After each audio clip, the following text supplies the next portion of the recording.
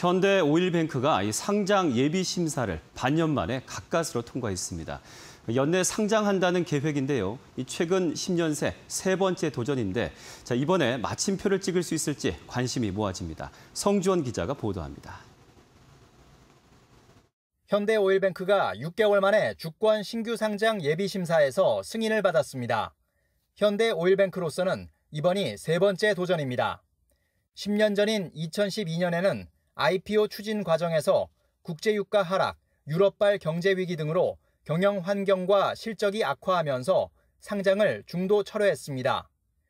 절치 부심 끝에 재도전한 2018년에는 당시 주식시장이 침체기에 접어들고 저평가 우려가 커지면서 무산됐습니다.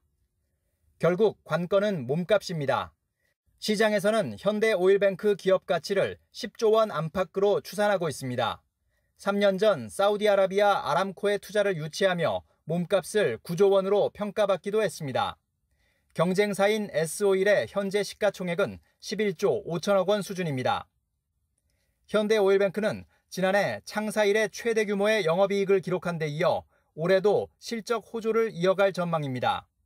정유사의 수익성 지표인 정제 마진이 사상 최고 수준에서 고공행진하고 있기 때문입니다.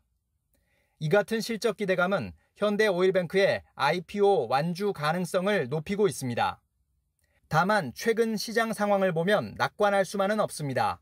정치권에서는 정유사 초과 수익을 환수하자는 주장이 나오고 있는 데다 올해 상반기 공모주의 40%는 희망 공모가 하단 이하에서 최종 공모가가 결정됐을 정도로 증시에는 찬바람이 불고 있습니다.